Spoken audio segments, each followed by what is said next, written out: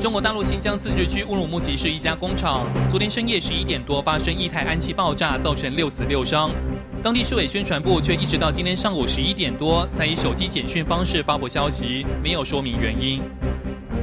台风海燕威力虽然减弱，但在广西壮族自治区境内余威不减。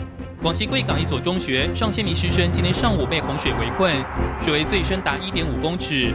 海燕已经造成广西省九十六点五九万人受灾，一人因灾死亡。直接经济损失人民币三点三九亿元。中国的首都北京经常是被雾霾笼罩，近年来当地的肺癌发病率也是飙升。据北京卫生局最新发布的数据显示，十年来肺癌的发病率增长了百分之五十以上。在中共的一党专制下，媒体、网络等讯息来源遭严格控制，甚至居委会监管人民，就连街上都装有大量监视器。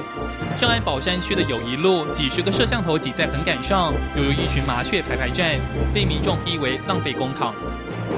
新唐亚太电视整理报道。